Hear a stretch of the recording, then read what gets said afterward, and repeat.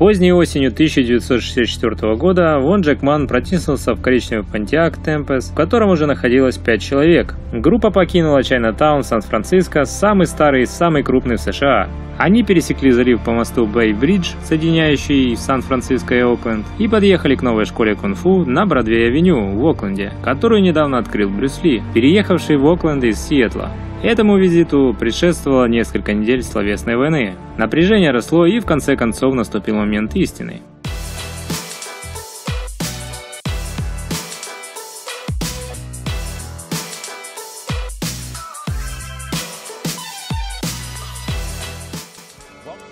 Привет, друзья! Сегодняшний выпуск посвящен, как вы уже догадались по названию, о легендарном поединке Брюса Ли с Вонг Джекманом. Свидетелями этой встречи, прошедшей за закрытыми дверьми школы Брюсселя, стали только семь человек. Тем не менее, события этого вечера оказали огромное влияние на мир боевых искусств. Эта схватка не только повлияла на формирование человека, который вскоре станет самым знаменитым бойцом в мире, но также станет ключевым моментом в противоборстве двух философий – традиционных и современных смешанных боевых искусств. Бой с Вон Джекманом станет для Брюса Ли поворотным моментом, после которого он создаст философию боя, опередив на десятилетия свое время. Можно смело сказать, что Брюс Ли стал предтечей современного ММА, поэтому нам так важно сейчас разобраться, что же на самом деле произошло в тот вечер. Дело в том, что все связанное с именем Брюса Ли обросло легендами и мифами, часто затмевающими истину, которая на самом деле намного важнее, чем героический культ Брюса Ли. Например, тот же Голливуд внес свой вклад в дезинформацию об этом поединке, так как в фильме «Рождение дракона», снятого Джорджем Нольфи в 2017 году, Вон Джек Ман – это на самом деле шаулинский монах, который пробрался в Штаты, чтобы помочь Брюсу сражаться с мафией. Но самого Брюса выставляет в ином свете. К нему примыкает фильм 1993 года «Дракон. История Брюса Ли», главную роль в котором сыграл Джейсон Скотт Ли. Вы, наверное, помните этот фильм. Его часто показывали по телевизору в те времена, котором этот бой проходил перед тайным советом ниндзя и завершался подлым ударом Вонга в спину Брюса Ли. Вы, наверное, помните все этот момент, так как по фильму далее Брюса Ли парализовало. На самом деле же история намного интереснее, чем все эти дурацкие голливудские штампы. Кому интересно, давайте разберемся, что этому поспособствовало. Ну а кто хочет больше конкретики обои, сейчас появится тайминг на экране, и вы сможете перейти на этот момент в моем сюжете и послушать конкретно о нем. Итак, начинаем. Из Сиэтла в Окленд. В начале 60-х годов район залива Сан-Франциско стал домом для многочисленных поклонников боевых искусств, которые приехали туда из Южного Китая, Гонконга и Гавайев. В это же время Брюс бросает колледж и комфортную среду, которую он создал для себя в Сиэтле, и переезжает в Окленд, чтобы вместе со своими друзьями и соратниками совершенствоваться на пути боевых искусств. Самым важным из них был Джеймс Ли, который был два раза старше Брюса по возрасту и в свои молодые годы имел грозную репутацию уличного бойца и бодибилдера. Кроме того, Джеймс был настоящим новатором боевых искусств США. Он публиковал свои собственные книги, разрабатывал оборудование для тренировок и превратил свой гараж в зал для изучения единоборств. Он познакомил Брюса с кругом своих друзей, прогрессирующих мыслящих фанатиков боевых искусств, среди которых мастер японского джиу-джитсу Воли Джей и создатель американского кэмпо карате Эд Паркер. В общем, Брюс нашел в Окленде то, что очень хотел найти – уникальную лабораторию по изучению боевых искусств, где он мог практиковаться и обсуждать боевое искусство в режиме 24 на 7 среди опытных бойцов и единомышленников. Время, проведенное в Окленде, заложило ключевые вехи в жизни Брюса Ли, включая создание единой книги, которую он когда-либо публиковал в своей жизни, знакомство в Голливуде, обой с фон Джекманом и создание концепции Джит Кундо.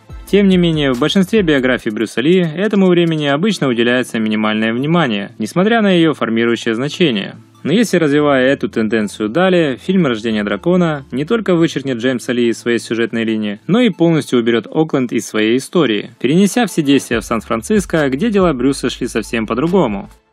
Чайнатаун, Лао Бан и Ти Вонг. А в городе своего рождения Сан-Франциско Брюс Ли столкнулся с рядом проблем, начиная с момента своего первого появления здесь, после своего приезда в Америку в 1959 году. Брюс быстро убедился, что атмосфера в кругу поклонников боевых искусств Сан-Франциско совершенно отличается от той, к которой он привык в Гонконге. В течение трех десятилетий политика Вулинь, так называли сообщество традиционных китайских боевых искусств Чайнатаун Сан-Франциско, определялась двумя представителями местного Тонга, так называли тайные сообщества китайцев в США и Канаде. Это были Лао Бан и Тин Вонг. Лао Бан открыл, наверное, первую открытую школу китайских боевых искусств США – Хун Син. Он поддерживал строгую дисциплину среди своих учеников, а также других школ китайских боевых искусств Чайна-таун. В течение многих лет Лао Бан не позволял никаких разборок между представителями школ боевых искусств, к чему Брюс Ли привык в Гонконге в 50-е годы, в котором вызовы друг друга на бои среди конкурирующих школ боевых искусств были обычным явлением.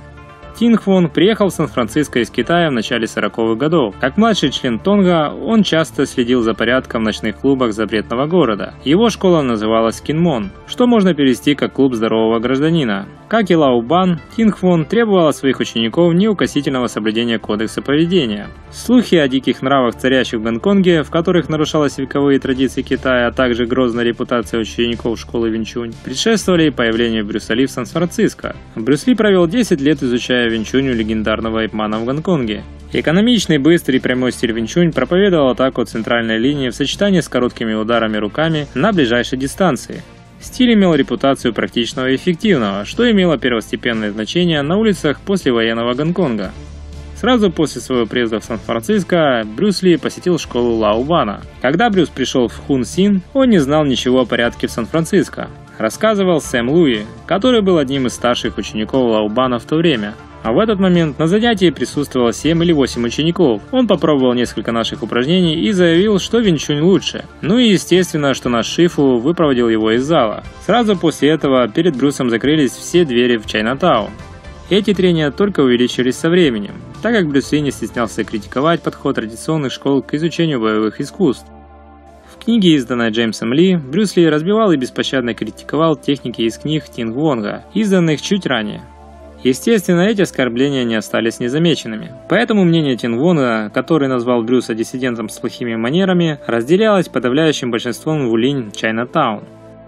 Но надо же было такому случиться, что как раз в это время в Сан-Франциско приезжает Вон Джек Ман, который быстро завоевывает себе репутацию хорошо воспитанного молодого человека, уважающего традиции и авторитет старших, и при этом великолепного бойца. Он стал первым представителем стиля северного Шаолиня в Чайнатаун и произвел на всех большое впечатление их демонстраций. Во многом этот стиль был полной противоположностью Винчунь. Размашистые удары руками и ногами с длинной дистанцией в сочетании с акробатическими элементами.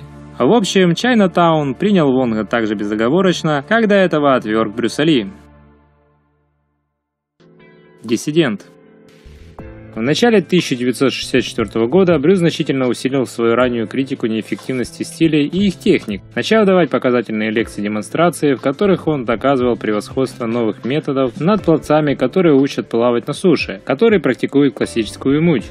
По контрасту, свой подход он называет научным уличным боем. Как правило, на этих лекциях Брюс демонстрировал техники других стилей, а потом разбивал их по косточкам, методично объясняя, почему это не сработает в уличном бою. Не случайно, что одним из стилей, который он любил критиковать и разбирать перед большой аудиторией, был Северный Шаолинь. На первом знаменитом турнире боевых искусств на Лонг-Бич, который организовал Эд Паркер, Брюс вызвал раздражение у многих участников после того, как раскритиковал многие традиционные практики, такие как стойка лошади кибадачи или мабу. Он просто пришел и начал критиковать людей, объясняет Барни Сколан, которому было 18 лет на момент участия в турнире. Хотя появление Брюса на турнире на Лонг-Бич часто изображают как триумфальный успех, многие из его участников не скрывают, что считали его наглецом в тот момент – так каратека с более чем полувековым стажем Кларенс Ли вспоминает. Парни практически становились в очередь, чтобы подраться с Брюсом Ли после его демонстрации на Лонг-Бич. Летом 1964 года Брюс Ли сопровождал гонконгскую актрису Диану Чанг Чунг Вен, китайскую Мерлин Монро того времени, в ее рекламном турне по западному побережью США для поддержки ее последнего фильма. Это привело их в кинотеатр Сан Синг, расположенный в самом центре Чайна-таун, Сан-Франциско. Естественно, Брюс не мог уступить такую возможность, чтобы не выступить со своей демонстрацией, которая привела в ярость представителей китайских боевых искусств. На этой демонстрации Брюс назвал представителей традиционных китайских боевых искусств старыми безумными тиграми. Естественно, что подобный намек не мог не задеть Лао Бана и Тинг Вонга. Это было оскорбление двух высокочтимых членов китайской общины, сделанное наглым выскочкой. К этому моменту конфронтация была неизбежной, учитывая, что за несколько лет до этого в Сиэтле Брюсу был брошен вызов за куда меньшее заявление. Японский каратека Йочи Накачи бросил вызов Брюсу во время прохождения демонстрации, на которой Брюс раскритиковал карате. Йочи Накачи преследовал Брюса несколько недель. Когда они наконец сошлись в поединке, Брюс буквально уничтожил Йочи, проводя серию быстрых ударов руками и завершив бой нокаутирующим ударом ноги. Весь бой продолжался 11 секунд, а Йочи попал в больницу с переломом черепа. Странно, что эту встречу обычно замалчивают как малозначительную, хотя на самом деле она является показательным примером дальнейшей судьбе Брюса. Почему Вон Джекман бросил вызов Брюсу? И вот мы наконец-то подобрали к самому интересному. Почему же Вон Джекман бросил вызов Брюсу? Существует теория, что он просто хотел сделать себе имя и разрекламировать свою школу, которую он открыл в Чайнатаун, Сан-Франциско. Местный мастер тайцзи Цюань Дэвид Чин утверждает, что именно это говорил Вонг, когда подписывал вызов, который затем был доставлен Брюсу Ли. Однако многие считают, что Вонга подтолкнули к принятию этого решения, направляя его словно новенького паренька в школе, на главного возмутителя спокойствия. Но кто же были те пять парней, которые приехали в Окленд вместе с Вон Джекманом? Впереди рядом с Вон Джекманом сидел Дэвид Чин и Чан Лысая Башка Киунг, два представителя клуба Тайдзи Цюань, который появился в Чайнатаун в 1930-х годах. На задних сиденьях находилась троица сомнительных типов, не имеющих прямого отношения к Вулинь. Это были Рональд Яяву, заслужившему свое прозвище постоянной болтовней, Мартин Вонг и Раймонд Фонг. Как позднее признался Вон Джекман, их взяли в группу для массовки. Никто из находившихся в машине не был учеником ни Тингвона, ни Лаубана, зато в ней было два представителя клуба Тайцзи Цюань. Как вспоминает старший ученик Лаубана, Сэмми Луи, кодекс школы запрещал участие в таких акциях. И если ты вызываешься в чужой зал, а в этом нет ничего хорошего. Независимо от того, проиграешь ты или выиграешь, это нехорошо. Когда Вон Джекман приехал в Окленд, около Брюса было только два свидетеля. Его жена Линда, которая в этот момент была на восьмом месяце беременности, и его самый верный друг и соратник Джеймс Ли. Имевший большой опыт разборок, Джеймс зарядил пистолет на всякий случай, если ситуация вдруг выйдет из-под контроля. Всего в комнате было 9 человек, трое из которых живы сегодня. А Вон Джекман никогда не говорил об этом инциденте. Линдали и Дэвичин, находившиеся по разные стороны конфликта, рассказывают одно и то же.